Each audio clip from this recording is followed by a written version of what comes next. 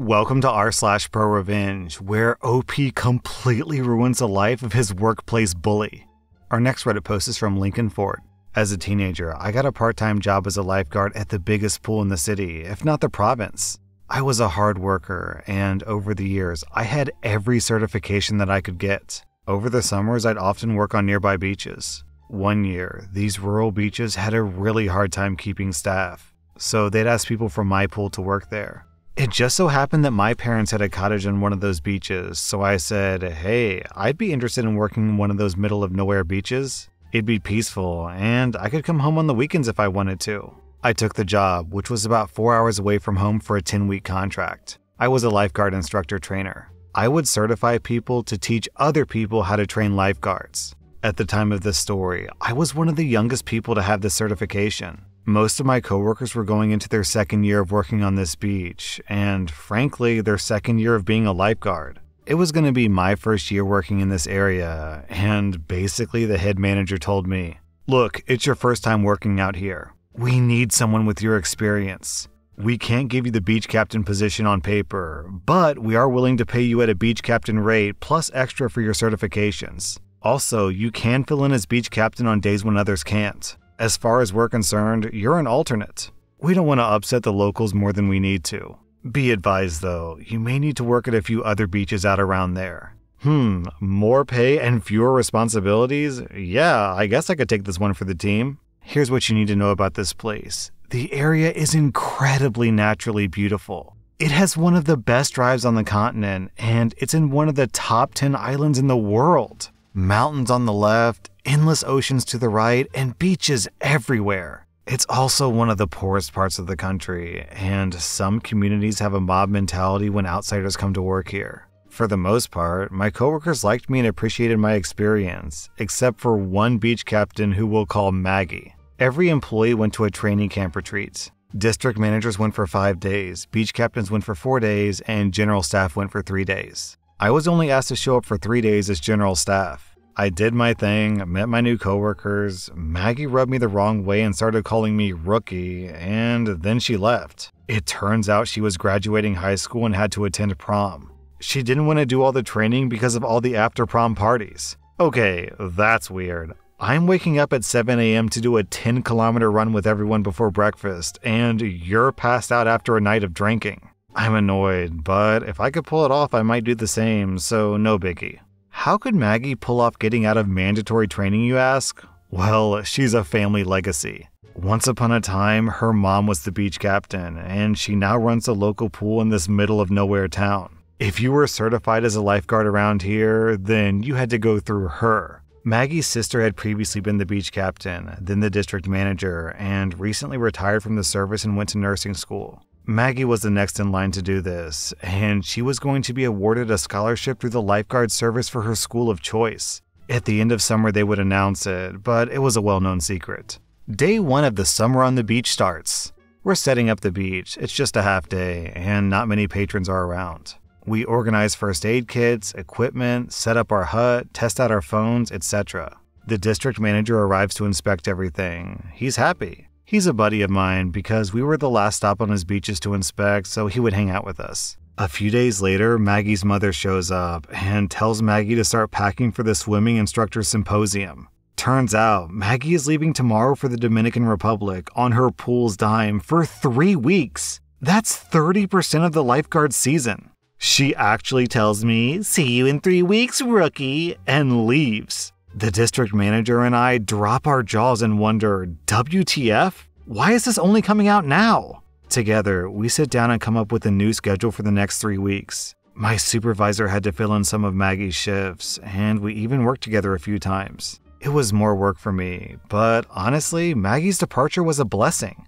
I had hardly met her, but I doubt that we were going to get along. She just rubbed me the wrong way. Those three weeks without her, I had this great feng shui, zen groove, inner harmony thing going on. It was the healthiest, mentally and physically, that I've been in my entire life. Of course, the lack of negative emotions directed toward me would not last. That ended the day that Maggie returned, literally within the first hour of us working together. Maggie, the beach captain, started her day with me by berating me in front of her friends. Hey, rookie, do you even know how to do CPR? I was watching you at training camp and you were doing it wrong. I need you to show me how to do it right now. You want me to show you how to do CPR? Sure, no problem. You could have asked me nicer, but whatever, I'll put up with this. We have to practice CPR every day anyway.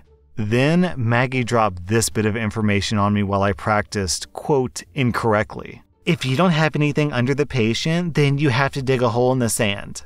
That doesn't make sense, but whatever. It's not like I'm an instructor in this or anything, or have a basic knowledge of physics that pushing on sand is not the same thing as digging.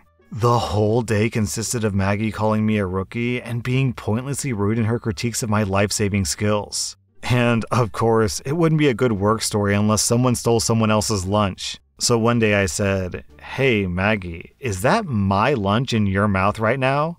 Oh, was that your lunchbox? Well, it wasn't your lunchbox, was it? Um, I'm the beach captain. You can't talk to me like that. This would become our daily routine on our shifts together. I began packing a decoy lunch with half eaten items or empty wrappers. This gave me the opportunity to hide and then eat my real lunch without her bothering me. By week four, it was our mid season evaluation. There's two parts a physical evaluation and a professional evaluation. The district manager does the physical and it's straightforward. All employees show up at the beach before it opens. You run 4 kilometers, swim 600 meters, paddle 2 kilometers, etc. Apparently, I embarrassed Maggie. I was the most improved from the start of the season to the end of the season. I was already in the top 25%, but now I was physically one of the top 5%. Maggie, however, had gotten worse. A lot worse. She was mediocre and had originally scored in the top 50%, but now she was one of the worst guards physically in the bottom 10%. Her times were all substantially lower. But luckily for her, it's not all physical. There's also the professional evaluation. The beach captain who works with you the most writes up your evaluation. You get a score out of 50. You get graded, and short notes are written to explain your score.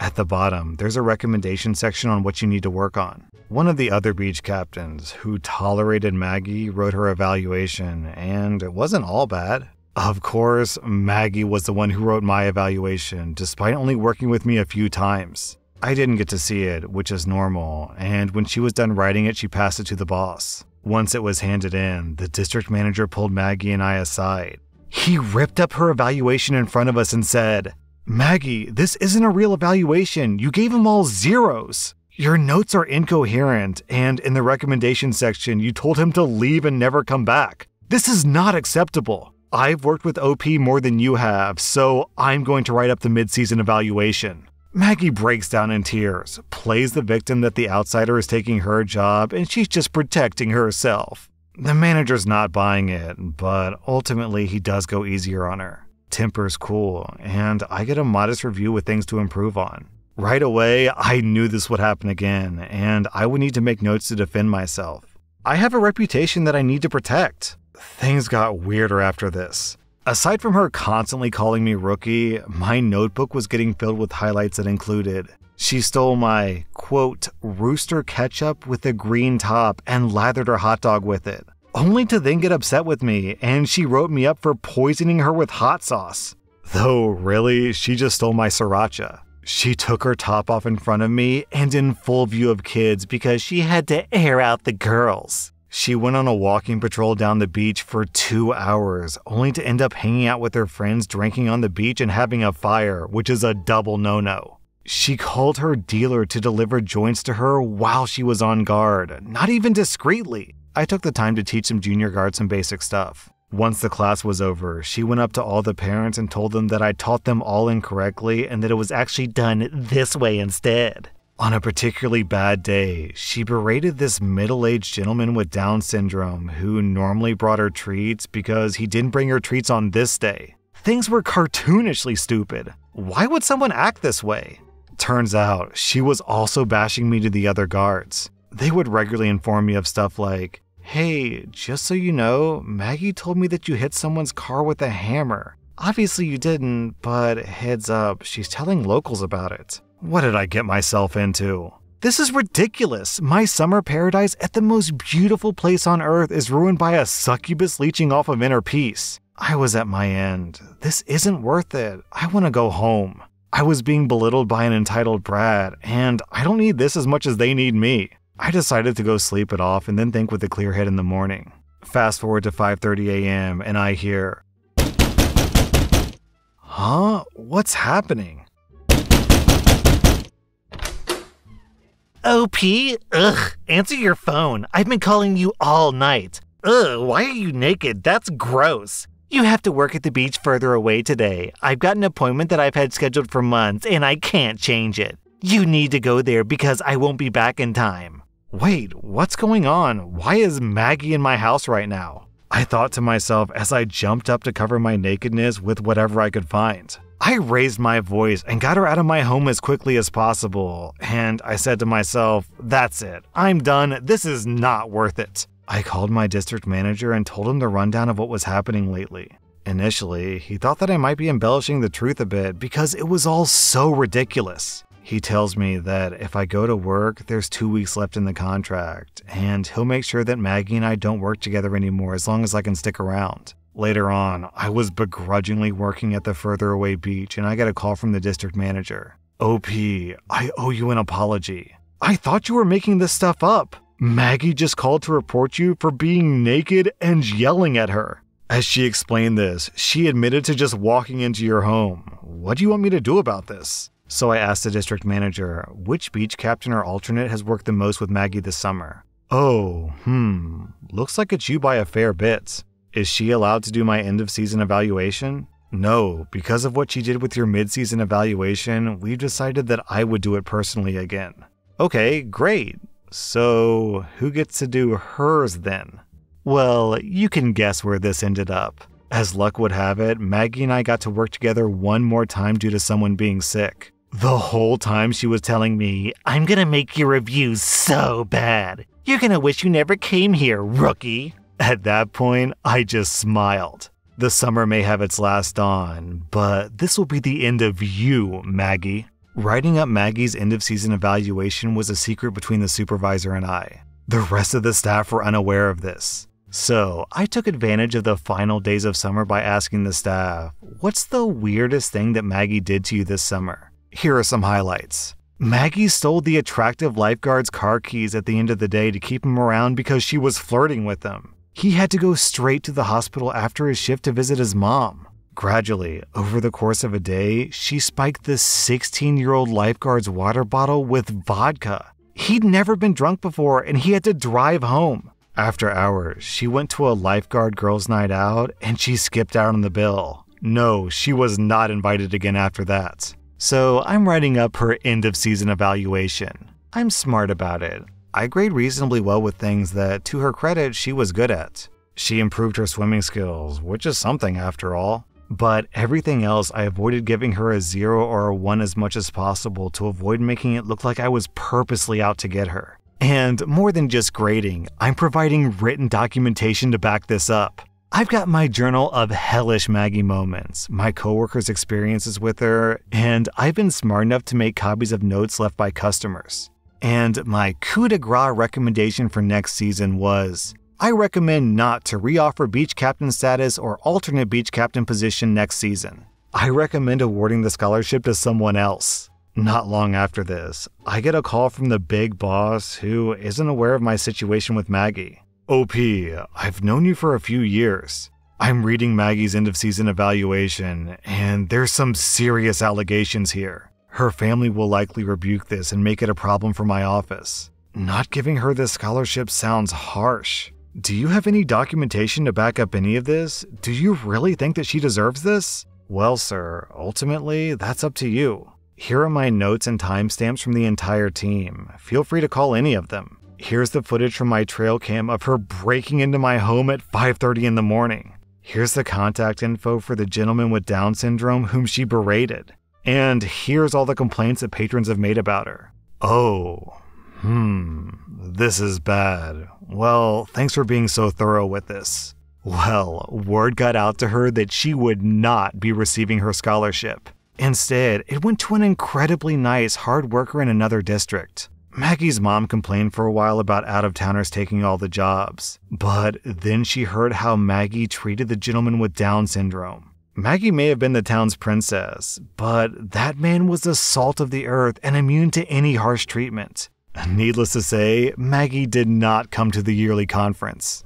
The next year, I was knee deep in my actual career and I didn't re enroll in the lifeguard service. But I did offer my services as a substitute. One of the guards I liked last year called me to see if I could sub for them for a weekend. I decided that I would do it as long as Maggie wasn't working. He laughed and said no, but she is on staff as a regular lifeguard. Well, Maggie wasn't working, but her cousin was. Uh oh, this can't be good.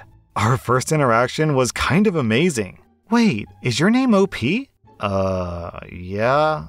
And I prepared myself to receive a day of harassment. Oh man, you are awesome! Maggie and her mom hate you. They're so mean. Our family hates them. She's so entitled and she makes us look bad. You're like a legend around here. Well, that's a change of pace from what I was expecting. We became friends over the course of the day, and she explained to me that Maggie thought her scholarship was a sure thing. Her mom had pulled strings for her to get it, and it fell through, so she never saved any money for school. Maggie's plans of getting into nursing didn't work out. Maggie's mom took a lateral promotion in the life saving world. The new position didn't last, and she was laid off only to go back to her old pool as the assistant to the person who took over her job. She wasn't able to pull any more strings after that. Last time I checked, Maggie went to community college and took a less expensive course with the plan of eventually jumping over to nursing when she saves enough money. Unfortunately for her, the instructors weren't crazy about her better than you attitude, and she was kicked out of the course sometime in her second year.